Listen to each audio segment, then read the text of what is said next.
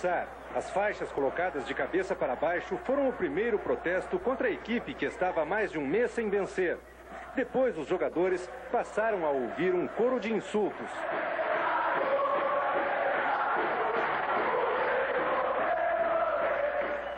E o protesto da Fiel ganhou uma forma original quando o Mojimirim fez 1 a 0 no golaço de Valber. A torcida deu as costas para o campo. Um desprezo que chocou até mesmo os jogadores criados no Parque São Jorge.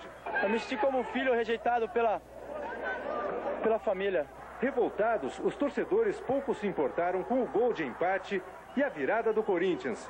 No segundo tempo, o Mojimirim voltou a empatar o jogo numa cobrança de pênalti. Mas Nelsinho, de falta, fez Corinthians 3 a 2.